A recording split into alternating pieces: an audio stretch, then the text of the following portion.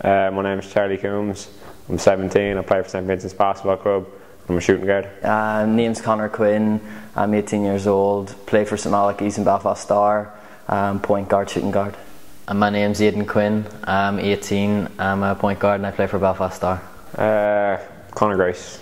Um, St Malachy's base probably Adrian Fulton, Paul Dick, Michael Docherty. A lot of those guys came before us. I looked up to a few guys through school, like Paul Dick, Michael Doherty when I was young, but uh, Super League when Paul Cummins came to play for us, I like watching him play. It was he's good.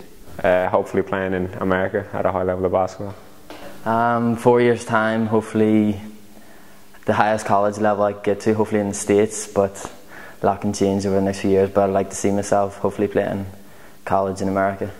Uh, hopefully playing college basketball in America, hopefully. Because um, I think Paul can help me get there, along with a couple of other Irish kids. And uh, I just like his attitude.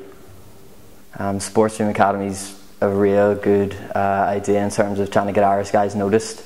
Um, usually over here, like we don't get the exposure that American kids get.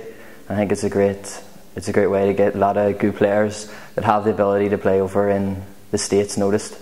Uh, we got talking to Paul when he was playing, and he contacted us and told us about the camp. And we heard that there's going to be top top coaches from America, Lafayette. Coach Pete's here, Jim's here from uh, Portland, and we knew like top coaches, good facilities, top players in the country coming. So we thought it was a good chance to show our, show our skills, show our talent. Some of John's dunks. The learning a lot of new stuff from the American coaches, just uh, getting better every day. The, uh, you're allowed to work out whenever you want.